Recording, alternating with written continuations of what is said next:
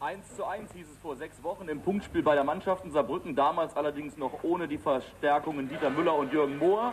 Daher heute großer Optimismus bei den 30.000 Zuschauern und bei Trainer Klimaschewski. Sechste Minute. Saarbrücken mit Mittelstürmer Dieter Müller ans Lattenkreuz.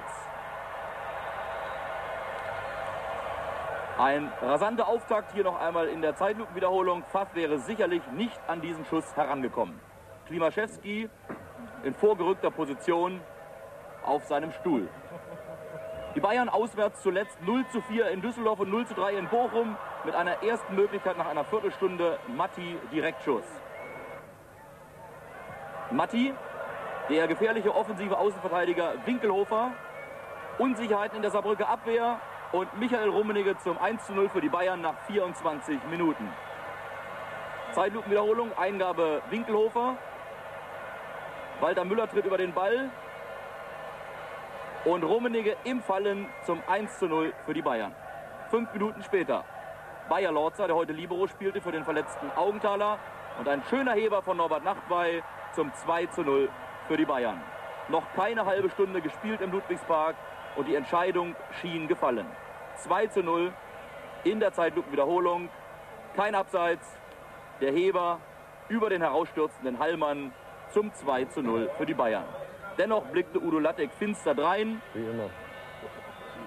Die Saarbrücker Fans zündeten die ersten Fahnen an. Pausenstand 0 zu 2 im Saarbrücker Ludwigspark.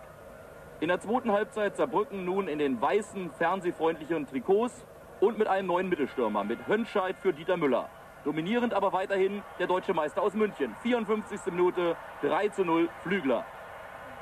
Die Bayern-Fans in Festtagsstimmung. Ganz anders die Laune des Saarbrückers Trainers Klimaschewski. Er hatte inzwischen Flankenschutz geholt.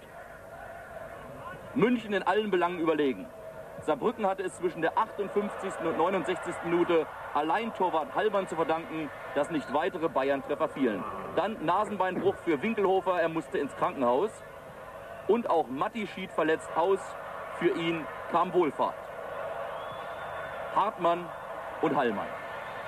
Das Spiel für die Bayern inzwischen nur noch eine Pflichtübung. Die Fans beschäftigten sich mit Papier.